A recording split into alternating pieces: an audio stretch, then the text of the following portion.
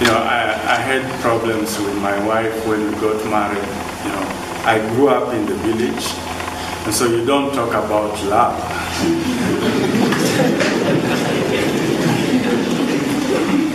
and my wife grew up in the city, and so she talks of loving the food, loving our house, and we are not used to loving things.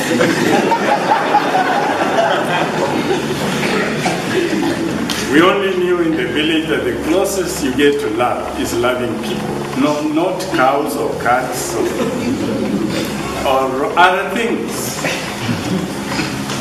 And so to reconcile the fact that uh, my wife loved too many things apart from me. but I've learned over the last several years of our marriage that, yeah, uh, when she talks of loving other things, it's not the same as loving me. Many of the things that the Bible talks about, and most of the Old Testament, when it's talking about love, it's referring to God or to fellow human beings. And it's only in the book of Psalms that uh, David changes the scenario a little bit.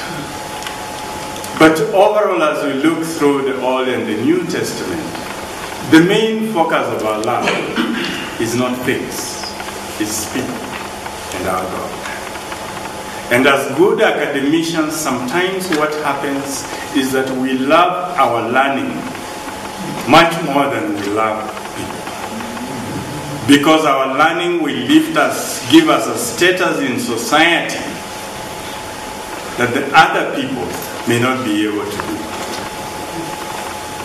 So, as we talk about love in our community,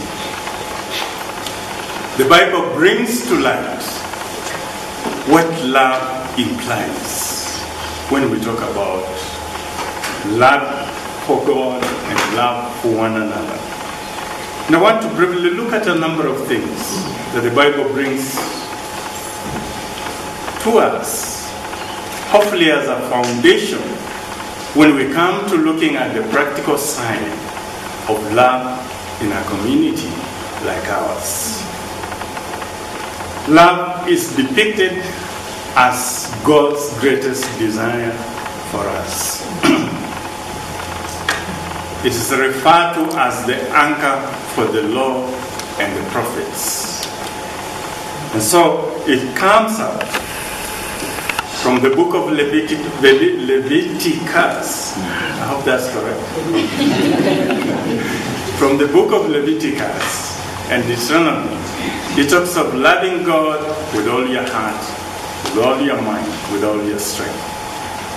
And of course, loving your neighbor as yourself. Deuteronomy brings in the loving of God. Leviticus talks about loving your neighbor.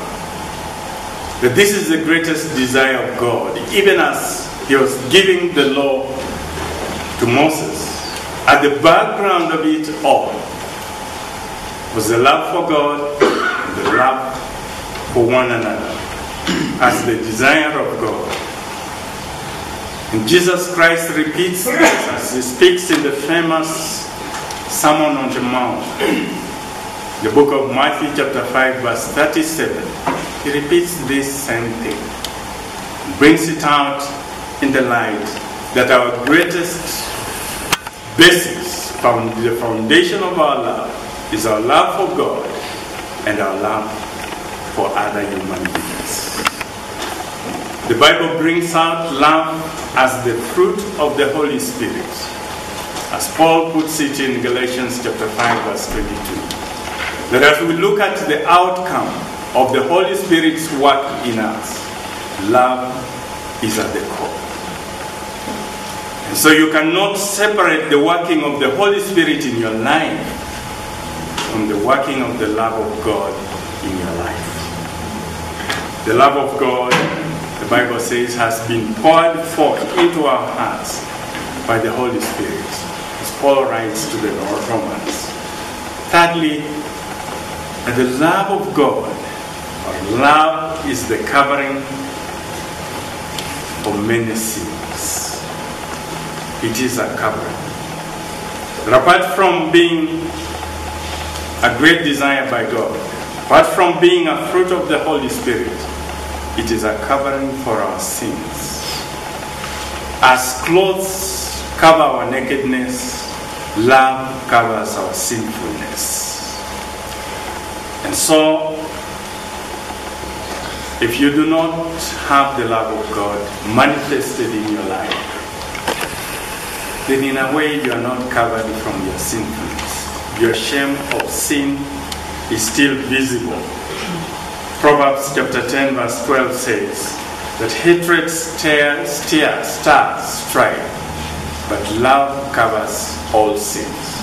And this is what Peter repeats and says that love covers a multitude of sins. But however sinful we may be, when love enters into our lives, it covers our sins. We are presentable. We are worthy because of the love of God shining into our lives and into our hearts.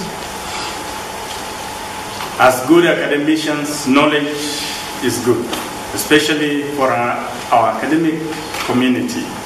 Knowledge is good because knowledge reduces our foolishness.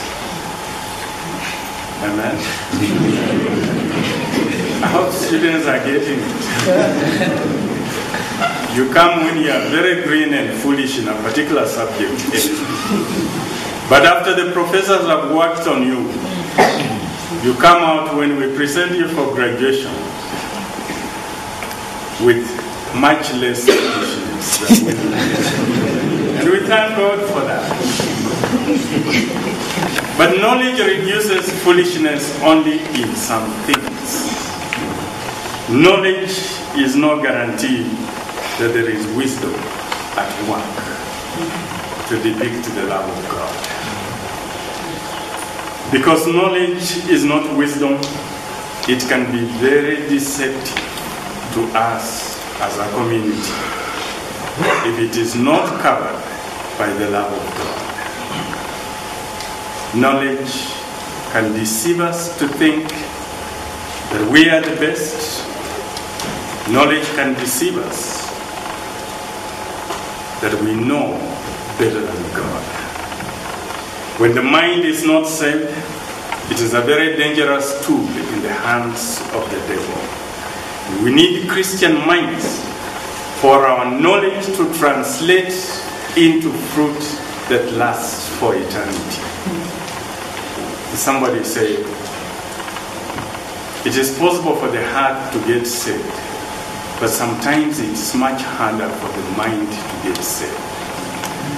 As a Christian community, we cannot lose touch with the fact that love, when it covers our sins, it covers our minds so that our knowledge translates into life that changes society around us, that changes lives around us, and that stands as a beacon that Christ is in our midst.